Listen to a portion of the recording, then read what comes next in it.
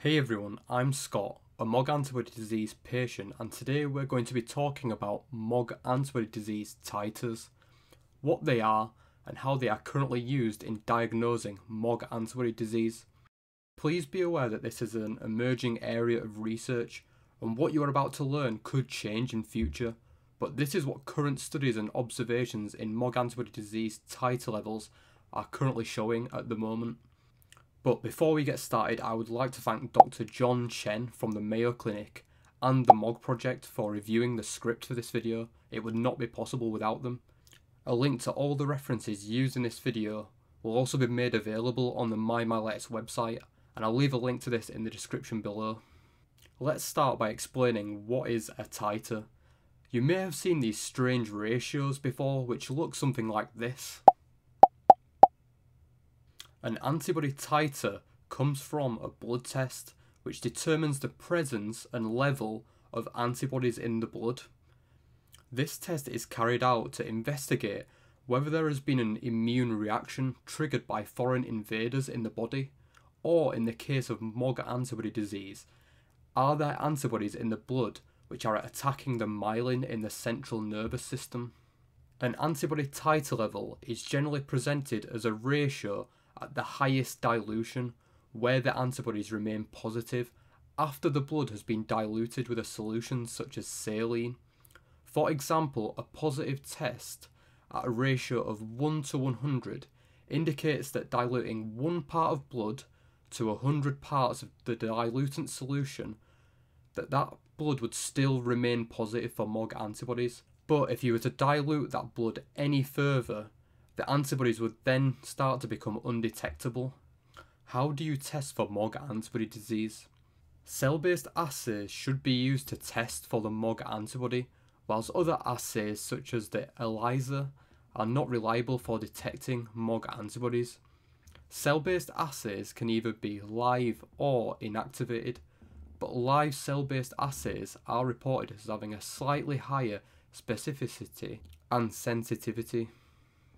The titer levels I will talk about in this video relate to the Mayo Clinic FACS assay, but this may be different for other MOG antibody assays used elsewhere, so please bear that in mind. What do the MOG titer levels mean?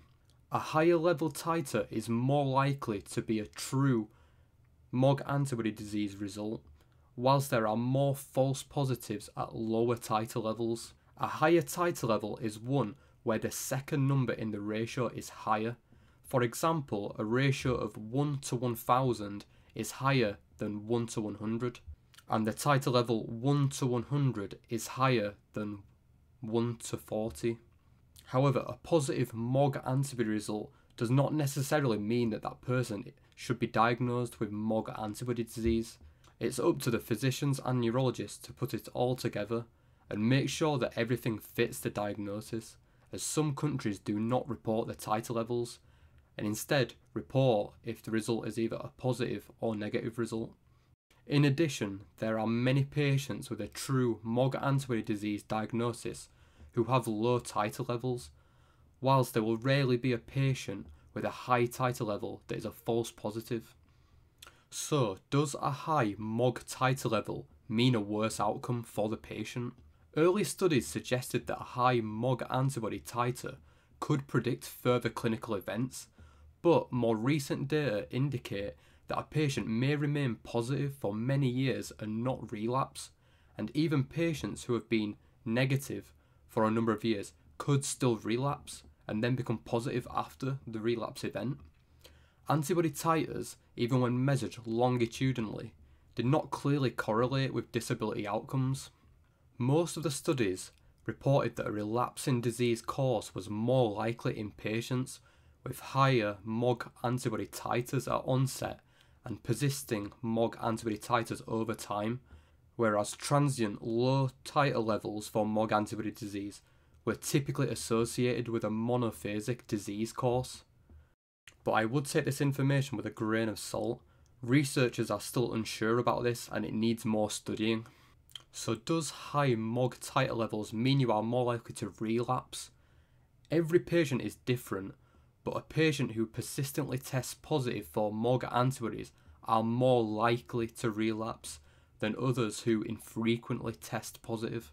Patients with a very high titer level might be more likely to have persistent MOG and therefore might be a bit more likely to develop a relapse, but this still remains unclear. A very high MOG titer level is equal or greater to 1 to 1000 or 1 to 10,000. However, as mentioned earlier, a persistently high MOG antibody titer level does not guarantee that a patient will relapse. People with a negative titer level can relapse, although the chances tend to be less likely. A common question which is asked is what titer levels is likely to be a definite MOG antibody disease case. Studies have found that some patients who have MS and also healthy patients can also have a very low level of MOG antibodies, which can lead to confusion about the diagnosis. In patients with a high titer level, that being 1 to 100 or 1 to 1000 or greater, the vast majority do have MOG antibody disease. Low level titers, being 1 to 20 and 1 to 40, was where the study had most of the false positives. However, they also had a few positives at the 1 to 100 level.